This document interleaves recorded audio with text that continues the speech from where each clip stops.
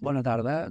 Tots parlem de la, de la IA, de la intel·ligència artificial, i m'agrada molt un article d'un senyor que es diu Manel Pérez a La Vanguardia, que per mi és premonitòria, perquè porto temps llegint aquesta persona i realment té una visió de les coses que van per davant del que nosaltres veiem, o almenys del que jo veig, no? Diu, quan esclatarà la bombolla de la IA, de la intel·ligència artificial? Nvidia, un fabricant de xips molt conegut, tots els nostres ordinadors portem, eh, diu, bons ordinadors portem, oh, diu, Nvidia tant gigas, tant no sé què, no? Eh, és un fabricant de xips especialitats per a jocs de videoconsoles i ordinadors, tot el tema de, de targetes gràfiques, s'espera que juguin un paper crucial en el desenvolupament dels nous projectes d'intel·ligència artificial.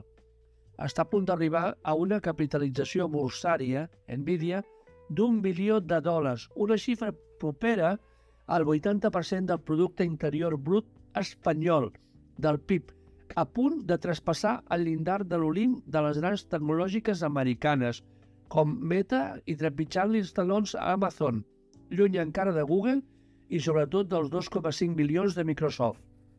Nvidia va facturar l'any passat uns 26.000 milions de dòlars i s'ha disparat després d'anunciar que esperava un creixement espectacular dels seus ingressos l'actual exercici, malgrat les brillants expectatives d'aquesta capitalització bursària, multiplica 30 vegades la facturació i 60 els beneficis que l'empresa projecta per al seu any fiscal vigent, que acabarà l'any que ve. Què pot passar? Què vol dir això? Segons els experts, aquesta empresa és de les més ben col·locades per ser un dels vencedors absoluts de la quarta revolució industrial, que anuncien a tota hora els involucrats en la IA. I, de fet, una de les poques en capacitat d'oferir el que ara estan demanant les empreses capdavanteres en aquell àmbit. L'empresa assegura que espera ser la primera subministradora de xips avançats per la IA, tot i que també hi ha incògnites, ja que els seus xips es fabriquen a Taiwan i és una de les empreses que es pot veure molt afectada pel bloqueig comercial i tecnològic de l'administració de Joe Biden a la Xina, com, com li va passar a Huawei. Però bé, veurem.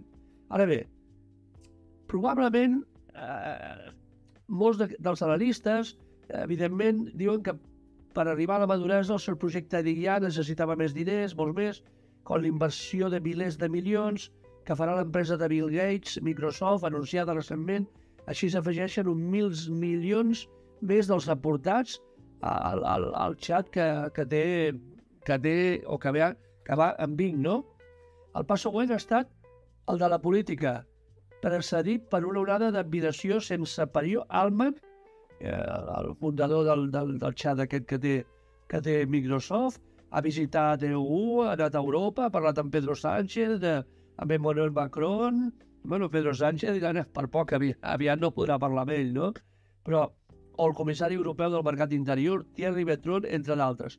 Una bona pista sobre les ambicions d'un emprenedor que aspira a venjar-se al món en el sentit literal, el seu llançament inicial està sent aquesta escala, una inaudita campanya global de màrqueting que compta amb l'elit política com a convidada especial.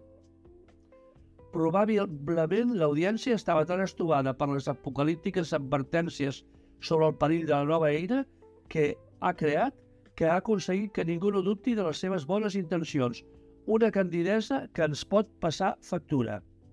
Altman ha demanat un regulador, un regulador global per al nou univers de la IA i un server control sobre les noves propostes d'empreses en aquest nou món. És a dir, com que ell ja ho té fet, ara vol que pari dels peus als altres, no? Reclama a la UE, a la Unió Europea, que s'ho pensi molt abans de proposar unes regles del joc que no li semblin bé. Sens dubte, vol anticipar-se a l'acció dels governs i probablement pensa ser el que defineixi les regles. És la indicació més clara que la dimensió en què pensa operar és mundial i no vol jurisdiccions fragmentades. És l'anomenada unitat de mercat com ho veuen els americans, però encara més gran, a escala de la nova globalització.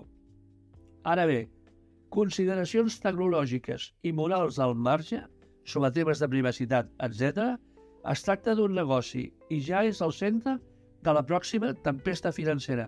Veurem què passarà, ens diu el senyor Manel Pérez a La Vanguardia. Veurem, esperem un temps i veiem que el tema no passi com les bombolles immobiliàries o les bombolles inversionistes que estan venint, que han començat per Amèrica, han arribat a un banc suís, en aquest moment estan en immobiliàries que tenen un descens del 70% del seu patrimoni, de la seva, de la seva capitalització a la banya i veurem què passarà d'aquí no gaires mesos.